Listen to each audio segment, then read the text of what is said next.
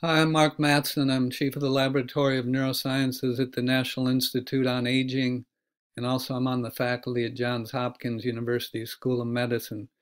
Today I'm going to talk about how bioenergetic challenges, namely intermittent uh, energy restriction or intermittent fasting and exercise, impact the body and brain in the context of aging and Parkinson's disease with implications for risk reduction as we grow old and also possibly therapeutic interventions in PD patients.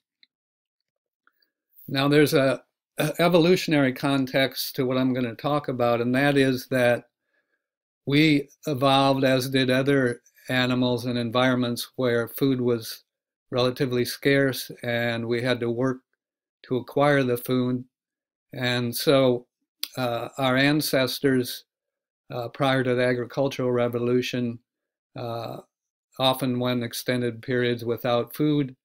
And individuals whose brains and bodies function well, perhaps optimally, in that uh, fasted state had a survival advantage. And indeed, even the higher cognitive functions of humans, things like creativity and imagination, uh, initially evolved uh, for the purpose of, for example, inventing tools to acquire and process food. And even things like imagination uh, evolved initially uh, in the context of food uh, acquisition. Uh, unfortunately, in modern day societies, many people are overeating and sedentary. So this slide shows uh, three different eating patterns. The upper one is the typical American eating pattern, and what's shown is blood glucose levels and blood ketone levels throughout a two-day period. Uh, and what you see is every time the person eats, the glucose levels go up, then they come back down, lunch, dinner, late night snack ketones never go up because every time the person eats, they replenish the glycogen stores in the liver. Uh, and that energy supply is always tapped into first. The ketones come from fats in your fat cells, and so these are never tapped to, into in people who eat the typical American eating pattern, unless they exercise uh, considerably. This middle example is someone who fasted for one day and then ate three meals the next day. And what you can see is on the fasting day, after about 10 to 12 hours, the ketones start to rise. They keep going up. So that this person is now using fats uh, as an energy source. And ketones then provide the fuel for our muscles and also our nerve cells in our brain, which is what I'm going to focus on today. This bottom example is someone who every day they don't eat breakfast or lunch, then they eat all their food within a six hour time window. And so what they're happening with them is they're getting a metabolic switch that occurs uh, after about 10 to 12 hours uh, not eating, so in the morning hours, and, and so they're getting the metabolic switch. Now, we've done a lot of work in animals and some in human subjects that that looked at the effects of these intermittent, uh, what we call intermittent fasting type diets on various health indicators. And the bottom line is that the intermittent fasting will reduce inflammation in various organs and, and reduce markers of inflammation in the blood. Um, also, the ketones that are elevated uh, not only provide fuel for brain cells, but we're finding they stimulate the production of neurotrophic factors, one of which I'll talk about brain-derived neurotrophic factor, or BDNF. We also find that in animals, and, and we're now testing in this in humans, that intermittent fasting can increase the resistance of neurons in the brain to stress. And we, have published uh, extensively review articles on this topic. So here's an example from a small study we did in asthma patients where we put them on a diet where every other day they eat only 500 calories. And on that diet, uh, they're getting elevation in ketones on the calorie restricted days, the days they're only eating 500 calories, because that's not enough to keep the glycogen liver stores uh, full. And so uh, fats are mobilized and ketones go up on the fasting days. And then on the feeding days, the ketones are back down. So there's this every other day metabolic switching between using carbohydrates on the feeding day and using ketones on the fasting day. What we found in the asthma patients is within a few weeks of adaptation to this alternate day fasting regimen, the person's mood and energy increase. And they're not shown here, they're also losing body weight. And this is a two month study, and they lost on average about 8 to 10% of their initial body weight. These, people were overweight or obese. We also found that, uh, well, there was an initial increase in hunger score for the first two weeks to a month. Then thereafter, the hunger on these uh, 500 calorie days decreased back to uh, pre-intermittent fasting uh, levels. Then we looked at the um, asthma scores, which greatly improved. So this is a asthma symptoms improved and we measured airway resistance, that improved. We took blood and measured markers of inflammation, tumor necrosis factor, which not immediately, but by about two weeks and then definitely by a month, there was a dramatic reduction in inflammation. Uh, we've done other studies with what's now called the 5-2 diets, which is essentially two days a week eating only 500 calories, the other five days eating normally. So two days we're causing this metabolic switch, and that improves a lot of health indicators and risk factors for cardiovascular disease, diabetes. And then finally, we're doing an ongoing study of intermittent fasting in subjects at risk for cognitive impairment because of their age and metabolic status. And we're asking the question whether in this population of subjects who are at risk for Alzheimer's and Parkinson's, whether there's beneficial effects on function, brain function, and we're also looking at neural network activity by functional MRI.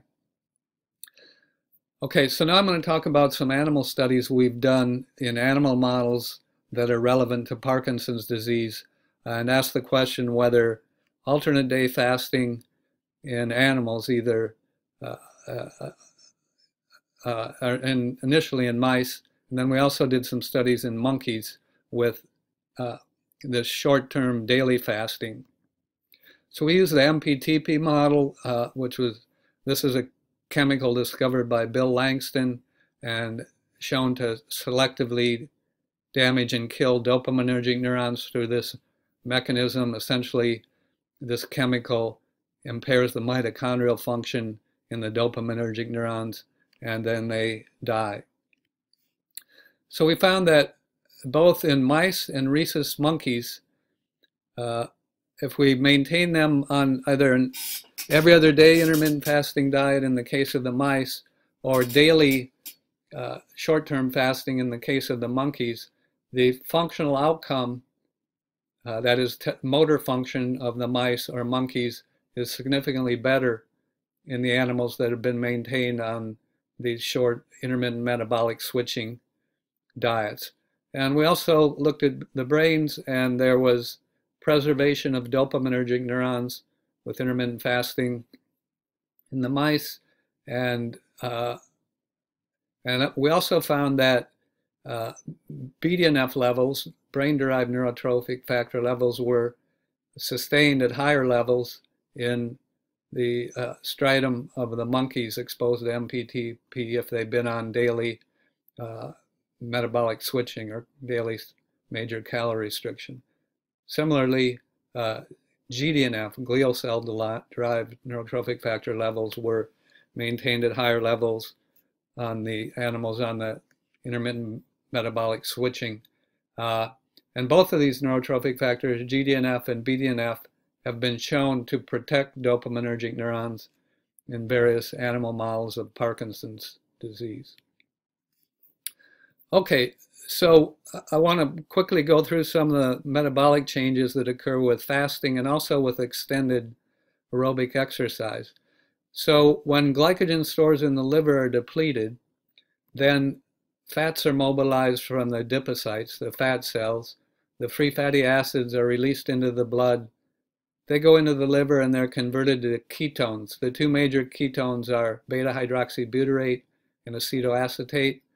These then uh, are released into the blood. They're transported into the brain, into neurons throughout the brain, and the ketones can be used to generate ATP or energy for the neurons. And so ketones bolster neuronal bioenergetics and can protect neurons against conditions that we think are occurring in Parkinson's disease.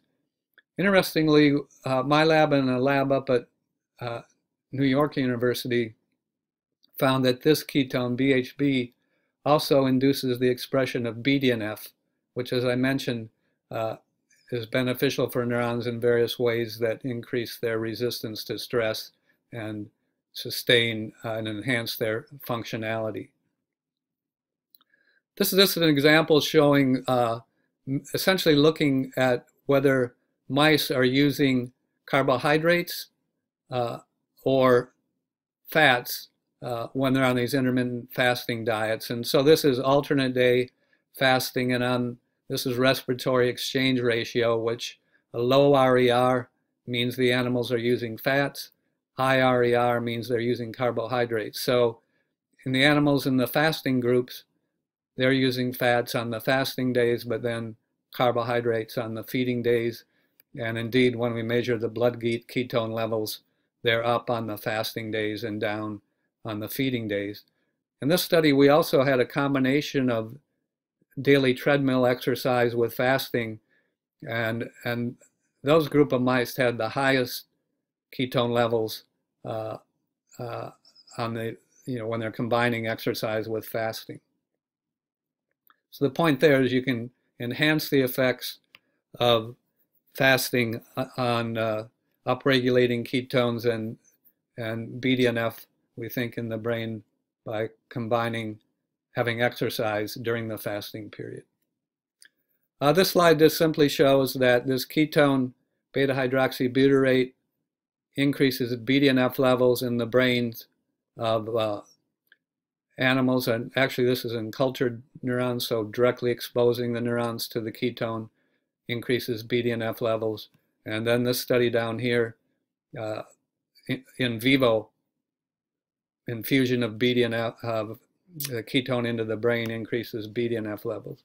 So the idea here is that fasting and particularly if it's combined with exercise, increase ketone levels. The ketones then stimulate the production of BDNF, which increases the resistance of neurons to stress.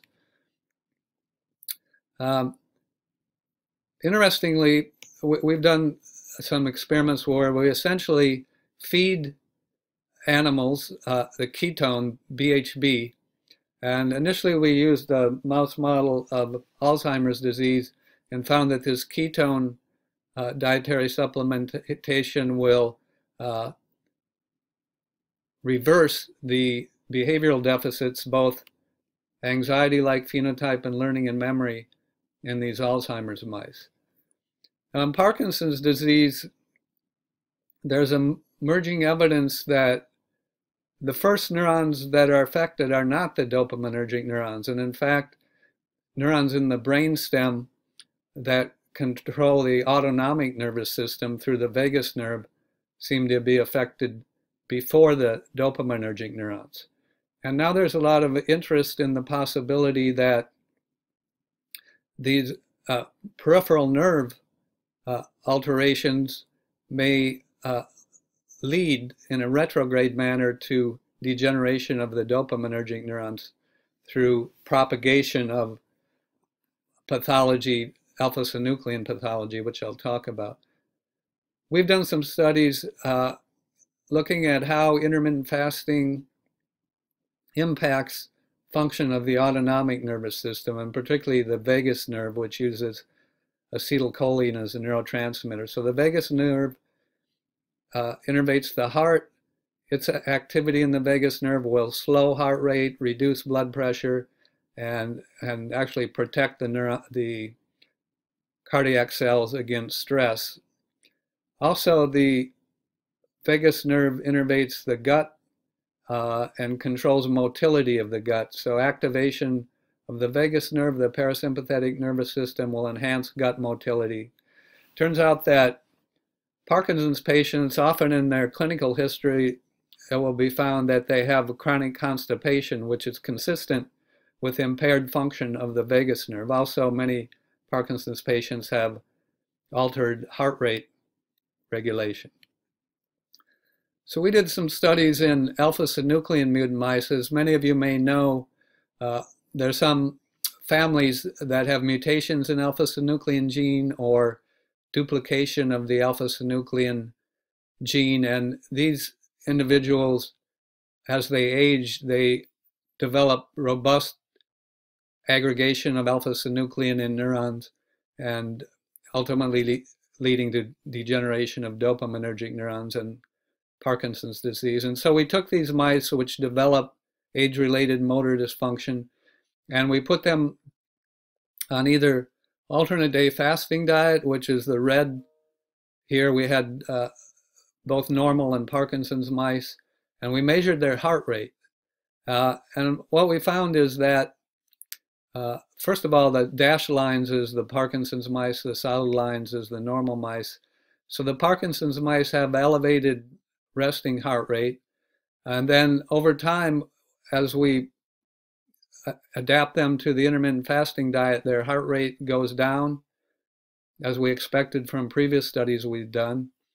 And we also had group in the groups in the blue that we put on a McDonald's diet or a high-fat sugar diet, and that diet exacerbated the effects of the Parkinson's disease on control of heart rate. So those animals uh, uh, on the high-fat, high-sugar diet had the highest heart rate. And also, the intermittent fasting delayed the onset of the motor dysfunction, and the high-fat sugar diet accelerated the onset of the motor dysfunction.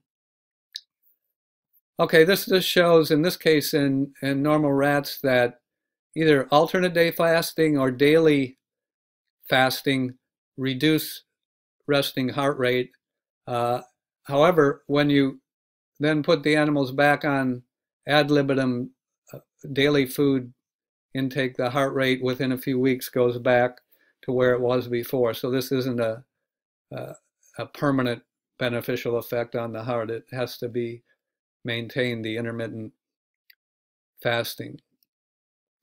We showed that the reason that the intermittent fasting slows heart rate is through a BDNF mediated mechanism in the brainstem.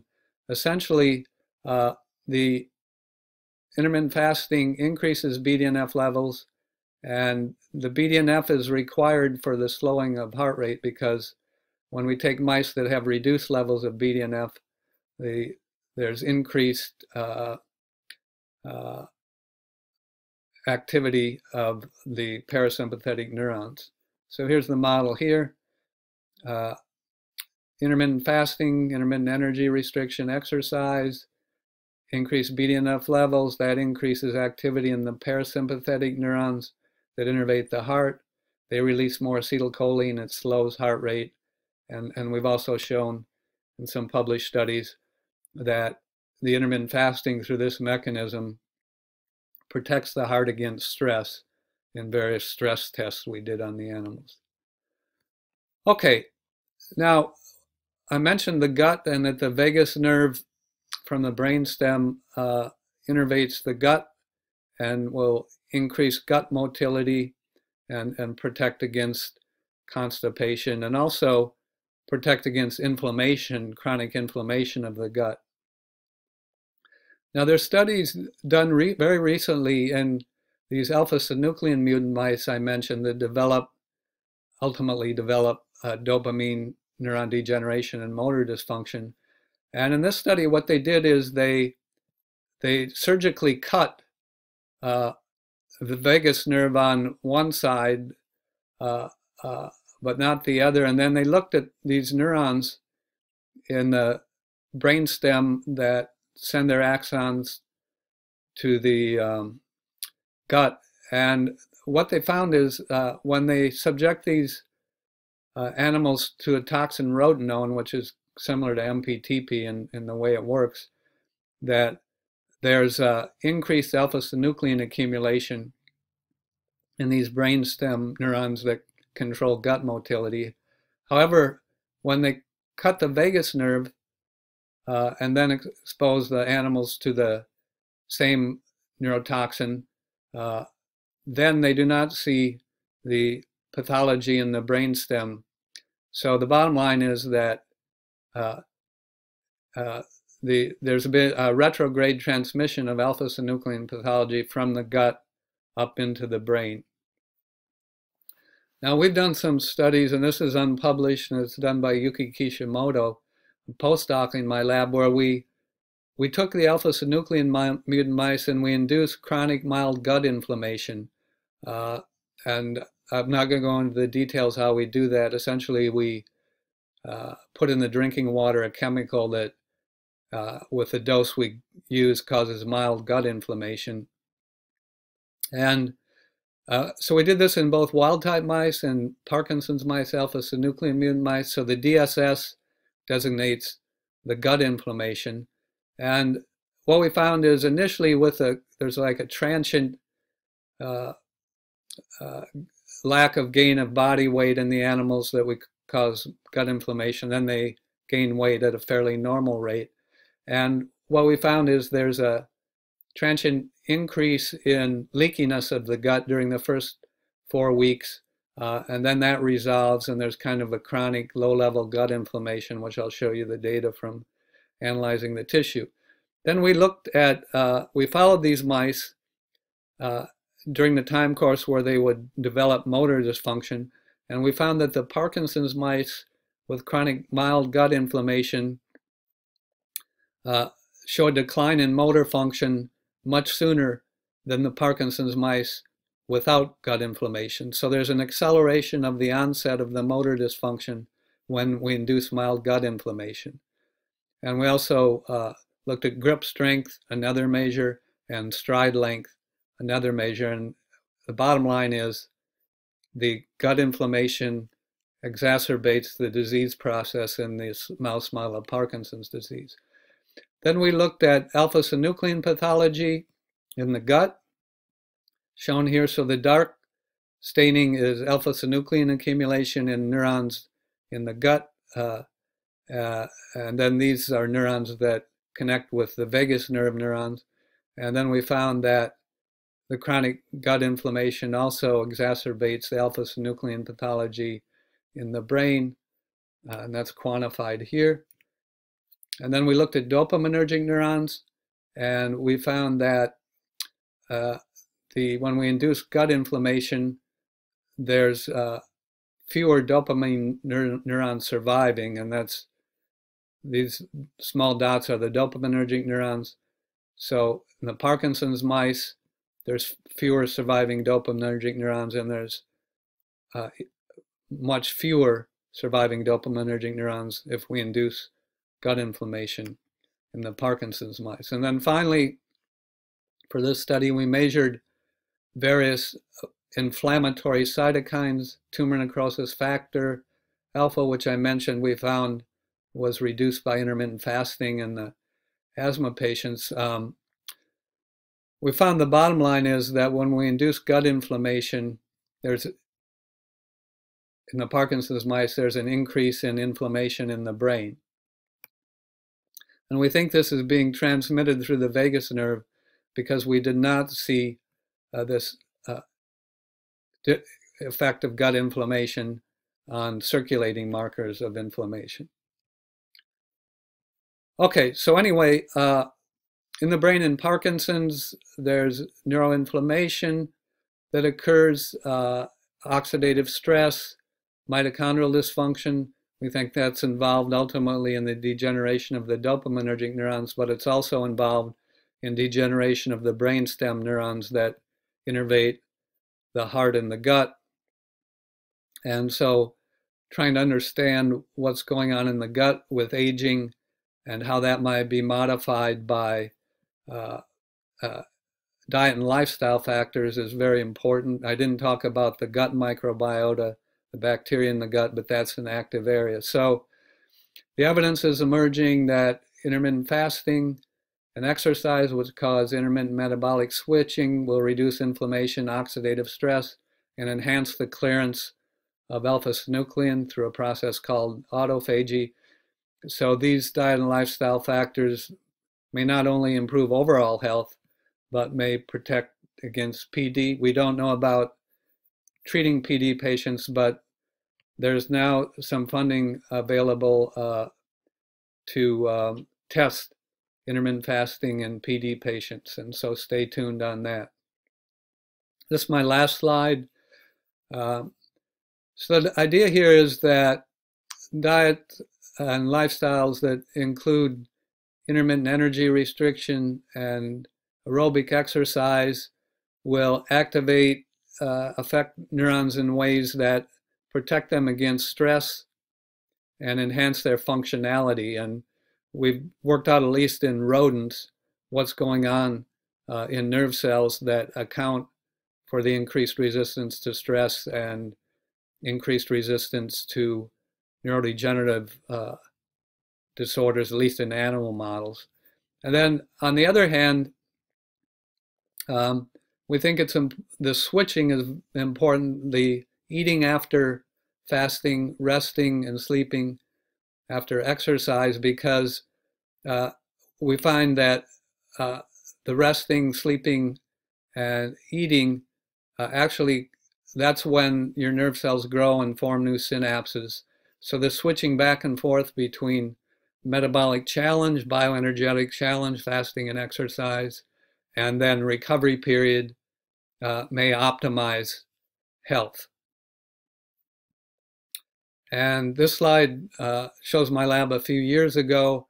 Um, Ruiqian Wan uh, is a key person in all the work we did looking at uh, parasympathetic innervation of the heart in various models. um, other people here, uh, Yong Lu was involved in uh, and quite a bit of the work with intermittent fasting. And uh, we practice what we preach. This is a my running group a couple years ago, uh, getting these young scientists get, getting BDNF levels up in their brain so that they perform well in the lab. And thank you very much.